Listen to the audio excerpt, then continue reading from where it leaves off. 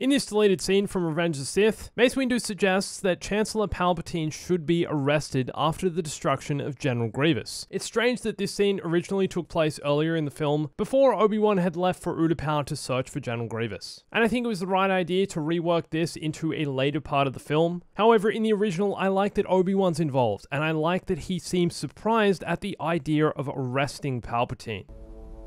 Arrested? Other dialogue from the scene is quite similar in both versions, with Yoda saying these ideas will lead to a dark place. To a dark place this line of thought will carry us. And this scene was also shown from a different perspective in the Clone Wars. I sense a plot to destroy the Jedi. I sense a plot to destroy the Jedi.